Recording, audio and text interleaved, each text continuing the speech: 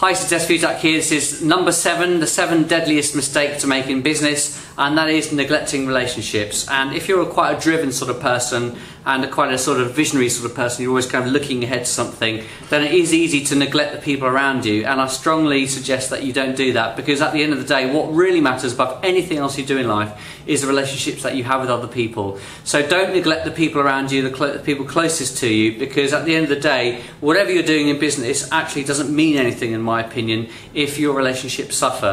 By all means, you know, be honest about the fact you may be kind of a bit less available because you're doing stuff, but don't neglect those relationships. Make sure you find special time with the people that you care about because it's very, very important that you carry those people with you as you move forward in your business. So that's the end of this seven part series, and I hope it's been useful to you. If you want to check out what, um, what I'm saying on my website, then look at the link below, and there's more information you can find there um, about the seven deadly mistakes and the seven super solutions. A bit cheesy, I know, but you know, I thought I'd have an antidote. Okay, take care, see you soon, bye.